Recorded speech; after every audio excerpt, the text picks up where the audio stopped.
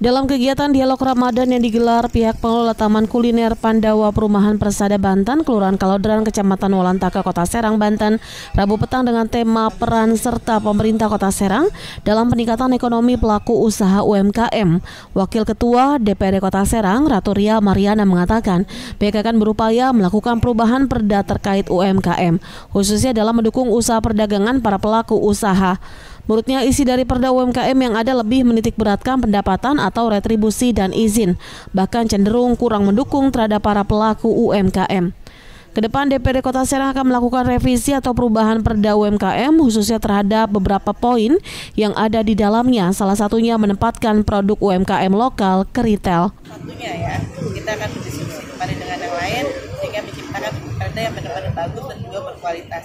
Salah satunya keinginan saya perda itu muncul bahwa nanti uh, pelaku UMKM itu bisa menempatkan produk-produknya di tempat-tempat uh, apa itu? Ya detail.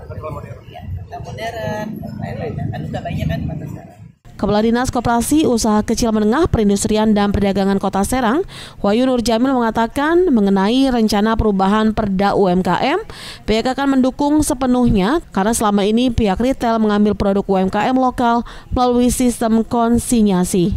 Wahyu menginginkan di dalam perda tentang UMKM yang ingin direvisi oleh pimpinan DPRD mengatur pihak retail wajib membeli produk UMKM yang dipasarkan mereka mudah-mudahan ini menjadi bahan usulan untuk legislatif melalui uh, Bu Wakil uh, supaya memang nanti di perda itu saklek aja bahwa diwajibkan untuk membeli retail modern itu dari para pelaku usaha yang sudah terkurasi.